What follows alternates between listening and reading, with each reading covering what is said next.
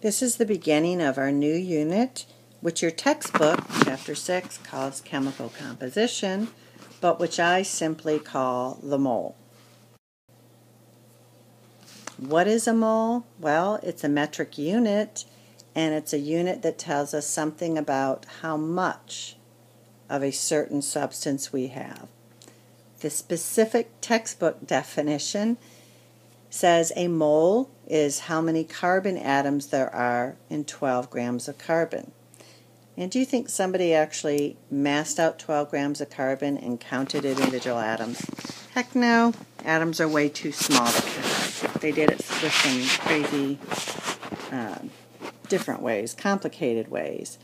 But um, what you do need to know is that one mole of anything equals 6.022 times 10 to the 23rd of that substance.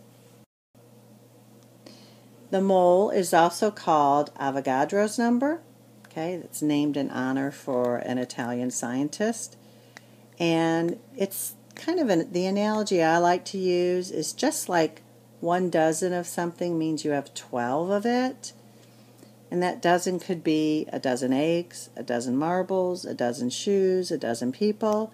In the same manner, a mole is a counting unit. It's 6.02 times 10 to the 23rd of something that you can count. It could be anything again.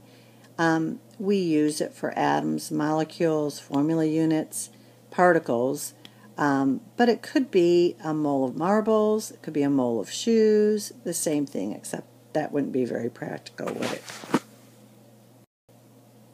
All right, where did that crazy number come from, 6.02 times 10 to the 23rd?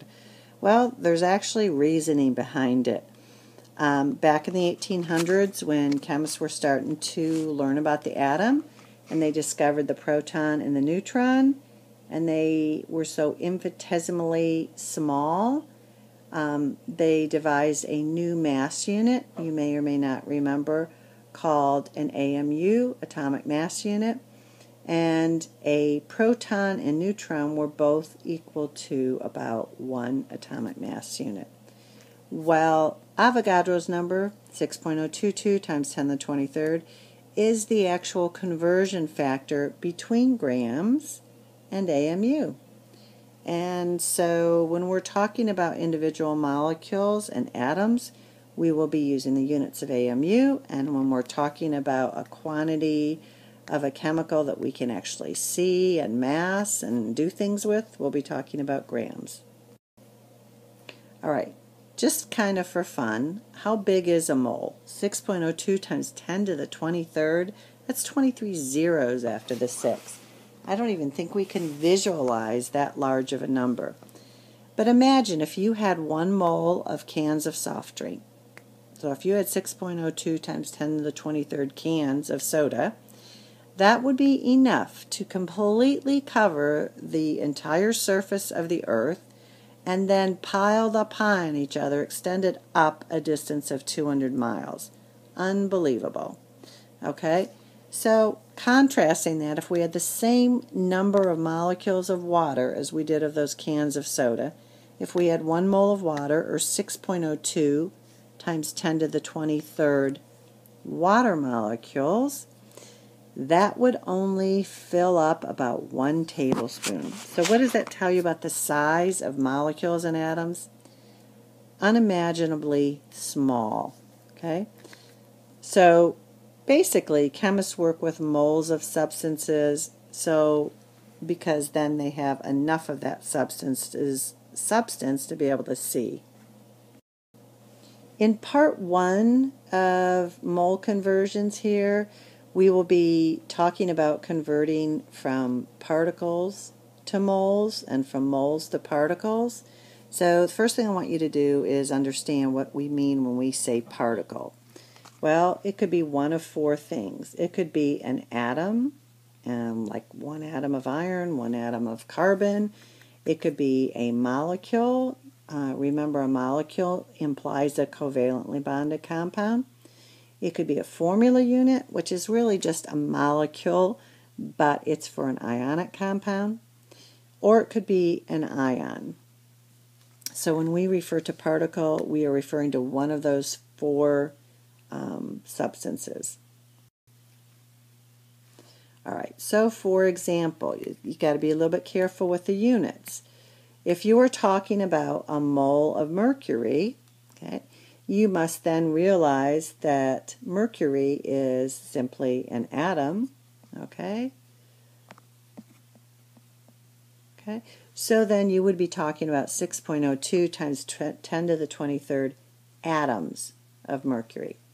On the other hand, if somebody started talking about a mole of hydrogen gas, you would hopefully remember that hydrogen gas is a diatomic, therefore it is not a single atom.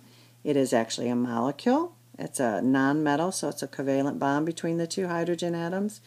So you would be talking about um, 6.02 times 10 to the 23rd molecules of hydrogen. Likewise, or in a similar vein, if somebody said they were talking about or dealing with sodium chloride crystals, you um, hopefully would then realize that sodium chloride is ionic and therefore the units would be formula units. All right, so let's talk about actually doing a unit conversion from particles to moles. And remember again, when I say particles, I'm talking about atoms, molecules, formula units, etc. All right, we are going to use Avogadro's number, 6.02 times 10 to the 23rd, as a conversion factor. And we will, throughout this chapter, be building kind of a roadmap with mole in the middle and it'll have um, three branches, three roads coming out of it. And the first road we're going to be talking about are converting from a mole to a particle or from a particle back to a mole. Remember that particles can be atoms, molecules, formula units, or ions. Okay. All right, let's start out with a sample problem. How many molecules are in 0.360 moles of water? Well, in order to work this problem, you've got to think back of what you know about dimensional analysis. The steps in conducting dimensional analysis were first to start with the given information and put it in the upper left-hand corner of a T-chart. So let's go ahead and do that. Here's our given information, 0.360 moles. Here's our T-chart, so we have that in the upper left-hand corner. And step two was then put the conversion factor um, in the second block of the T-chart and arrange that conversion factor so that the units in the denominator match the units of the given information and therefore those units will cancel and we will end up with the new units of molecules. Well, this simply becomes um, a math problem. Um, it's probably more safe at this point to multiply out the numerator and get an answer, which would be 2.17 times 10 to the 23rd divided by, and what you get in the denominator, multiply out the denominator, which is just 1. Okay, so our answer is 2.17 times 10 to the 23rd molecules. So we have converted from expression that has units of moles to an expression that has units of molecules. And we've done that by using Avogadro's number as a conversion factor. Let's try another one. What if you wanted to convert from a particle in this case formula unit, to moles. That's kind of going in the reverse direction. We started before with moles and went to particles. Now we're going to start with particles and go to moles. Well, to work that one out, again, we put the given information in the upper left-hand corner. We have Avogadro's um, number as a conversion factor. But in this case, we have formula units in the denominator so that we can cancel out formula units. In other words, what we're saying here is there are 6.02 times 10 to the 23rd formula units in one mole. And now if we multiply through by the numerator, it's 2.21 times 10 to the fifth times 1, or simply 2.21 times 10 to the fifth, divided by 6.02 times 10 to the 23rd. Now you've got to be careful with your scientific calculator that you use the double E key. If you are still insistent on using the caret key, um, then you're going to want to make sure that you put parentheses around your numbers. But you, the correct answer should be 3.67 times 10 to the minus 19 moles. If you get an exponent that is not minus 19, you are using your calculator wrong. Um, please, it is so much better to use that double E key, or you may have an EXP exponent key in its place. That is it for lesson one in the mole unit. And coming up next is converting moles to mass or mass to moles.